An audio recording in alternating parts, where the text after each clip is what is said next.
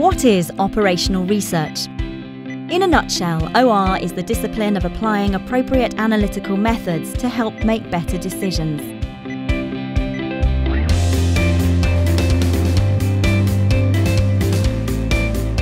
In today's world, OR is all around us. It can be found in just about everything we do. It forms the building blocks for our everyday world, from buying a flight to queuing for our weekly groceries. It helps save lives. It drives business and government. Without OR, the modern world we take for granted wouldn't exist.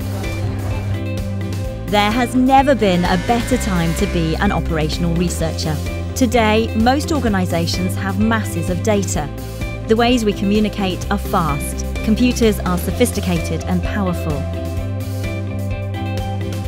And the business world is now investing heavily in putting operational research at the centre of what they do. This is not maths in theory, but maths in the real world, making a real difference.